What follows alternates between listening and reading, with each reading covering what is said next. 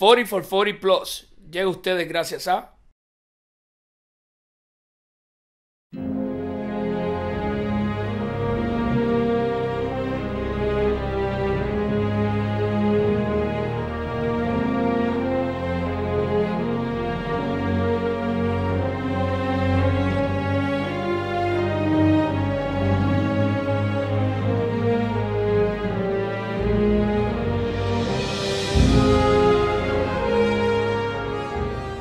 temporada 2014 de la Ponce Alumni Basketball League presentaba al Colegio San Conrado como uno de los dos favoritos a llevarse el campeonato.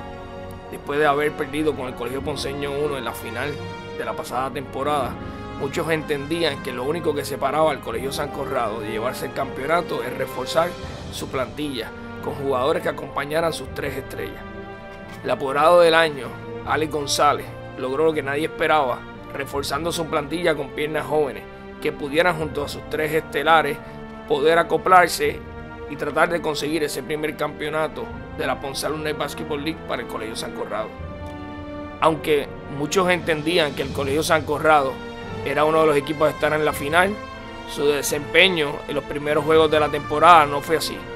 Y aunque perdieron con el Colegio Sagrado Corazón, juego que quizás se entendía era posible, de en adelante marcharon con un récord de una victoria, cuatro derrotas. Inclusive perdiendo con el Colegio Liceo Ponceño, lo cual muchos consideraban como uno de los upsets más grandes en la historia de la Ponce Alumna y Basketball League. Comienza la segunda temporada de la PABL. Eh, prácticamente me levanto de la cama para ir al primer juego contra Sagrado Corazón, ya que pues, me picó el mosquito del chikungunya y, y estuve una semana de cama antes de empezar la liga. Eh, ahí rápido se vio la, la acción y, la, y, la, importancia de un apoderado comprometido. Me llamaba todos los días, ¿cómo estás? ¿Estás bien? ¿Estás mejorando los dolores? ¿Qué necesitas?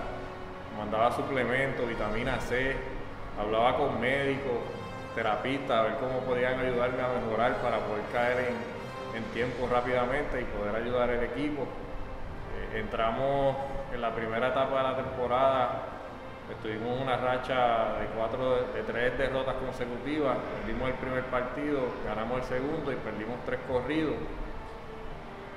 Parte de eso, pues, se le, se le añade que nuestro apoderado, pues, tenía unos compromisos personales y tuvo que abandonar el equipo por, por ese tiempo. Y aunque él no lo crea, pues eso nos afectó mucho. Porque aunque él no está presente en la cancha, aportando en el juego como tal, jugando, pues es el que nos mantiene unidos, es el que lleva las dietas para los jugadores y eso pues nos mantiene este motivados. Entonces pues no estaba eso, nuestro coach se va también, este, llega a la final de juvenil y no puede asistir a los partidos, o sea, estábamos abandonados. Los vamos a frontear, están haciendo fronteamos, pero Estas derrotas empezaron a dar paso a los rumores de que los problemas internos de San Corrado eran mayores y que sin su apoderado, San Corrado no podría llegar ni siquiera a la clasificación de la Ponce Alumna y Basketball League. Eh, ganamos ese primer juego, estaba todo ¿verdad? pautado, luego se nos va Ale. Se montó en el avión, dijo que viraban dos semanas y ahí empezó todo en decadencia. Perdimos un juego, perdimos dos, perdimos tres, todo se fue en picada. Eh, no encontrábamos ya qué más hacer, eh, los muchachos estaban ya, el dirigente no estaba llegando, eh, estábamos incompletos, empezaron las lesiones, llegábamos tarde a los juegos, ese compromiso no estaba. Sin la presencia de su apoderado, el equipo de San Conrado se desmantelaba y para juegos importantes apenas llegaban 6 y 7 jugadores. Hemos tenido mala suerte los últimos tres juegos, lo mismo pudiésemos estar 4 y 1 en vez de 1 y 4. Pero pues esto es parte de. Entiendo que si salimos de, este, de esta mala racha en la que estamos, pues nos va a dar tanto fortaleza física como mental y va a ayudar al equipo pues a mantenerse más unido. Ahora mismo pues ahí cuando está perdiendo, cuando las cosas van mal, pues todo el mundo tiene algo que decir. Con trago al barco. y pues estamos bregando con eso. Yo entiendo que eso es parte de, pasa en todos los cuando las cosas van bien, pues todo el mundo está contento. Confiado en que su trabajo ya estaba hecho y que el equipo de San Corrado presentaba una plantilla que podía llegar a las finales de la Ponsalona Basketball League, Alex González abandona la isla y en busca de nuevos reclutas y nuevos negocios para su colegio San Conrado, se marcha en un viaje por el mundo, el cual llevó más que sorpresa, puesto que su equipo San Conrado, sin su presencia, se vio sin un rumbo.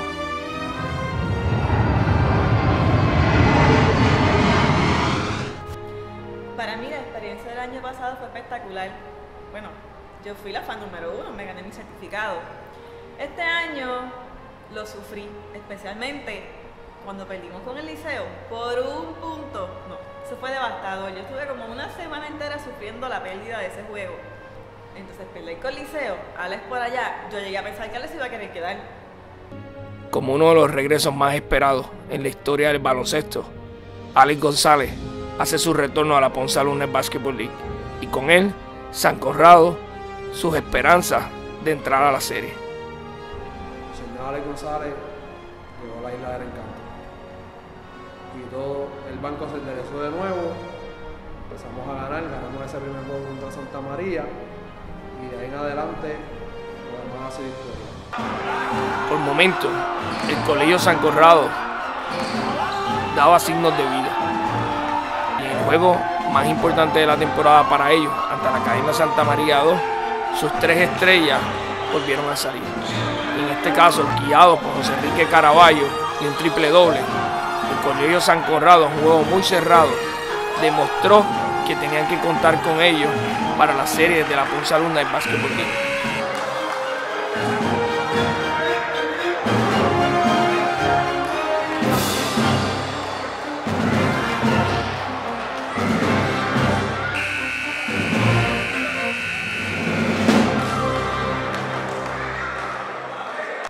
Sí, mira, pues jugar con el equipo de San Conrado fue una experiencia que de verdad este, es bueno jugar con jugadores que, saben su rol, un equipo de veteranos, un equipo de tradición, este, un equipo que, siempre sabemos que, vamos a llegar hasta lo último y vamos a dar lo mejor de nosotros. La experiencia con, Ale como apoderado, como Ale ninguno, de verdad. Cuando Ale está ahí nos apoya, este, siempre está ahí con nosotros. Y mira, cuando Ale no está somos otros, de verdad. Cuando Ale no está somos otros. Necesitamos a Ale siempre ahí con nosotros para siempre dar el máximo sobre, sobre la cancha. y se han visto los resultados. Desde que él regresó ese viaje, eh, prácticamente fue una vuelta al mundo, España, Europa, Nueva York, y pues después que terminó de, cumplir con todos esos compromisos, pues nosotros pudimos recuperarnos y prácticamente tenemos récord de, de 8, 7 y 1, 8 y 1, no, no recuerdo bien, pero, pero ahí se, de 8 y 1, ahí se ve la importancia de, de- del apoderado y, de la función que tiene en, confeccionar un equipo y en mantenerlo unido. Eh, en casa las cosas, ¿verdad? La doña está mucho más contenta desde que él llegó. Eh, el carro está al día, siempre está lavado. Los lunes aparece el carro lavado solo, yo no sé quién lo lava, pero desde que Alex llegó ese carro no está sucio. Eh, la doña con las uñas, las carteras, este, los trajes, está, no sale a Plaza Las Américas. El bebé mío que viene por ahí, no sé si sabe que tengo ahora que le voy a dar algo allá mismo en noviembre. El nene mío ya tiene el cuarto hecho. Ah, Yo me levanté un día y ¡boom! Estaba todo ahí. El baby shower fue todo un éxito. Y todo eso está pasando desde que Alex llegó. Y pues se ha visto la mejoría. Alex, desde que llegó Guri, todo ha sido, todo ha sido placentero. Y se demuestra tanto fuera de la cancha como dentro de la cancha. Mira, cuando San Conrado quedó subcampeón el año pasado, recuerdo que hablé con Wally eh, para que eh, pensara en la posibilidad de jugar con Santísima 1 el año que viene, el próximo año. Eh, me dijo, pues déjame ver, este, porque si el equipo esto, el equipo lo otro, Wally, aquí vas a ser tirador, aquí vas a ser tirador. Allá en San Conrado lo que hacía era recoger basura y, porque allí está Freddy Martínez, está Ferdinand, que tú sabes que esa gente es palabra todo el tiempo, aquí vas a ser tirador. Este, me dijo, pues déjame ver lo que hago el año que viene. Llegó el año que viene Valdi, ¿qué vas a hacer? Papi, Ale lo que está es soltando torta en este equipo. Soltando torta. Esto es a pura torta. No me puedo ir para allá. Yo entendía definitivamente que eso no podía ser todo nalga. O sea, Mahón así de ancho está imposible y esa cinturita de nena, o sea, estaba muy fuerte, o sea, demasiado de chavo, demasiado chavo, y es para llenar y complementar, porque todo eso lo podía hacer nalga. A mí me preocupa realmente que lo vayan a saltar, vayan a confundir, y le vayan a tirar, y cuando vean cuenta todo ese dinero, pues tiene que tener chavo, tiene que tener dinero, mucho.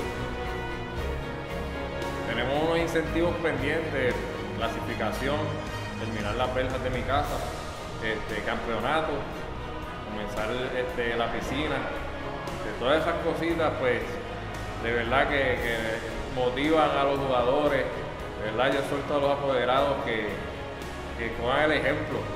eh, y que pues si, si hay algún incumplimiento en esas promesas, cualquier apoderado que pueda cumplir con ellas y completar ese compromiso, pues yo estoy dispuesto a jugar con, con ese equipo para la temporada venidera. Como parte de las negociaciones con el apoderado del año, eh, en el contrato decía que si, que si quedábamos campeones iban a haber otro, otra- otras regalías por el lado. En mi caso yo estoy loco, ¿verdad? Por cambiar mi carro. Eh, pero Ale me dijo, tranquilo, quédate con tu carro, que yo me encargo del resto. Tú quédate campeón y después hablamos. Y así va a ser. He ido a todos los juegos de Waldi, eh, de San y he notado que ellos tuvieron, empezaron con un récord de 1 y 4, con 5 y 6 jugadores. Desde que llegó Ale, aquí han repartido de todo, de todo. Uri, Moni, eh, de todo. Han jugado eh, de 6, 7 jugadores, ahora vienen 18 a la cancha. Es verdad que Ferdinando ya sigue tirando todas, pero vienen 18 a jugar. Se acabó la temporada en noviembre 9 y empezaron pues cada equipo a prepararse. Eh, yo recibí unas llamadas de los apoderados de Colegio Santísima Trinidad, Chucho, Eri, eh, jalándome para su equipo. Este, mira, vente para acá, necesitamos, te necesitamos en el equipo para que juegues con tu hermano Fonsi. Eh, muchas llamadas, mucha insistencia. Yo le digo, pero, pero, pero, ¿qué podemos negociar? Porque, ¿verdad? Yo vengo de un equipo subcampeón. ¿Qué tú me ofreces para yo irme con ustedes? Y ellos, pues, lo que ofrecieron, sinceramente, no era, no era, no era como para mudarse a un equipo subcampeón. Hablé con Ale, Ale, Ale soltó los chavos y definitivamente hizo. Ale, yo la mejor oferta. Yo chequeé con mi mamá verificando a ver si había alguna transcripción de, de crédito algo, porque yo estoy disponible. Con señor uno a mí no me da nada, yo lo doy todo. Gaby no afloja nada, todo el tiempo está con la tragedia, un lloriqueo brutal. Ale, por lo que yo pude ver, maneja, maneja dinero, o sea, contratito, voy a estar disponible para el año que viene y yo voy a conseguir las transcripciones, algo yo voy a hacer, voy a, a conseguir acomodar lugar. A alguien yo tengo que chantajear en San Cojado, pero yo voy para allá, ahí hay billetes. Bueno, cuando tú vas a hablar de apoderados en cualquier deporte, sin duda alguna tienes que mencionar a Alex Buti, porque el trabajo que ha hecho con esos muchachos de los Tigres es increíble. Inclusive esos muchachos vienen aquí a comer y todo él lo tiene pago, ellos no pagan un centavo. Sin duda alguna es, tremendo, es tremendo GM. Inclusive yo entendía que el año pasado yo iba a ser el GM del año, pero él con, con- con su trabajo que hizo, pues tuvo un galardón obviamente muy merecido y es modelo a seguir de muchos, no necesariamente el mío, pero lo quiero felicitar en este momento porque es uno de los mejores GM del deporte. Y todos los juegos que hemos venido ganando, yo digo, pues el equipo se acopló, chévere. Definitivamente Alex hacía falta para que los mandara. Menos mal que Alex regresó de viajar por el mundo, porque nos tenía abandonados, ellos estaban perdiendo. Una vez él llegó, empezamos a ganar y yo voy a ellos, yo voy a los míos. Yo voy a seguir viendo los juegos, nosotros vamos para los playoffs y voy contra todos. A mí no me importa, voy contra todos porque Alex está mandando en el equipo, le están haciendo caso. Este, yo me imagino que una vez Sister Nidia se retire, Alex debería ser el principal. Le podemos decir. Ya con la presencia de su apoderado, San Corrado demostró su potencia. Y contra juegos como el del Colegio Ponceño 2, San Corrado al final pudo llevarse la victoria. En uno de los juegos más esperados, choque de los hermanos Centeno, San Conrado mandó un mensaje todavía más claro. Y con sus tres estrellas terminó sacando de la cancha al Colegio Santísima Trinidad. So, la temporada ahora se decide en el último partido, San Corrado contra la Academia Cristo Rey. San Corrado, aún con los muchos problemas que tuvo en la temporada, ya con la presencia de su apoderado, pudo enderezar el barco. Las esperanzas de los Tigres de San Corrado se decidirán ahora en noviembre 6 en la Academia Santa María. Con una victoria, entrarán a la serie postemporada. Ya allí, la Ponce Alumni Basketball League sabe que San Corrado va por el campeonato y su apoderado va otra vez por el premio de apoderado del año.